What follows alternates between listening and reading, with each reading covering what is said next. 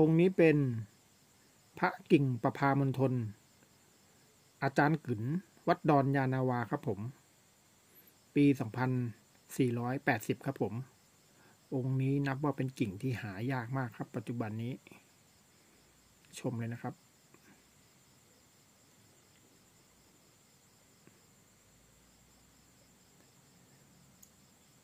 มีชื่อเรียกอีกสองชื่อนะครับ กิ่งรุ่นนี้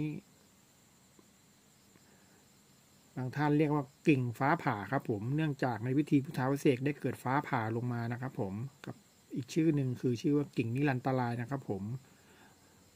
จัดสร้างโดยอาจารย์กึ่นวัดดอนยานาวานะครับผมปัจจุบันค่อนข้างหายากมากแท้ๆคือชาวต่างชาติ เช่นชาวจีนสิงคโปร์มาเลเซียกว้านซื้อไปหมดนะครับผม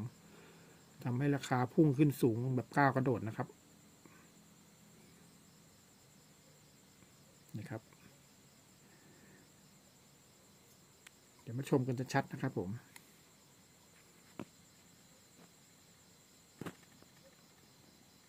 นี่ครับ หน้าตาครับมะพร้าวมันตัวเม็ดประสบครับ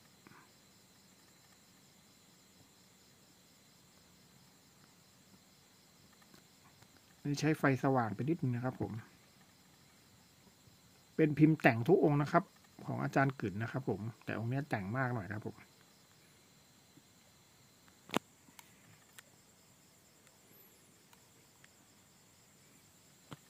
นี่ด้านหลังขององค์พระนะครับผม เนื้อหาเก่าจัดเลยนะครับผมผิวพระ นี่ครับตรงซอกแขนครับผมธรรมชาตินะครับ ทุกองค์ต้องเจาะแบบนี้นะครับผมเป็นจุดจ่ายตังเลยนะครับ ต้องเจาะตรงแขนทุกองค์นะครับผม นี่ครับจริง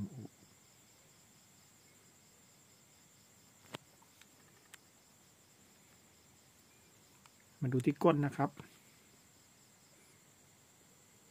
นี่ครับผมรอยตะไบนะฮะ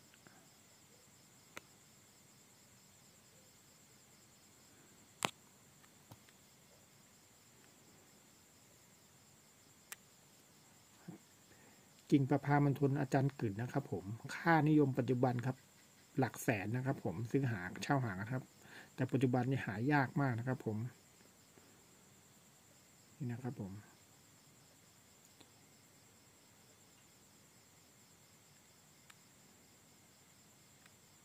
วันนี้มีเอามาให้ชมกันนะครับ ให้พี่ๆ FC ได้รับชมกันนะครับ ผม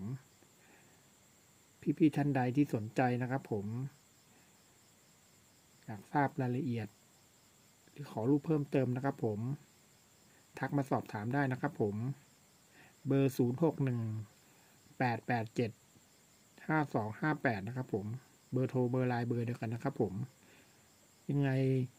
รบกวนพี่ๆ ที่น่ารักทุกๆท่านนะครับผมที่เข้ามารับชมในคลิปนี้ ฝากกดติดตาม กดตับตะไคร้กดไลค์ให้กับช่องน้ำโมพระเครื่อง เพื่อเป็นกำลังใจในการทำคลิปต่อๆไปด้วยนะครับผม ขอบพระคุณมากครับ สวัสดีครับ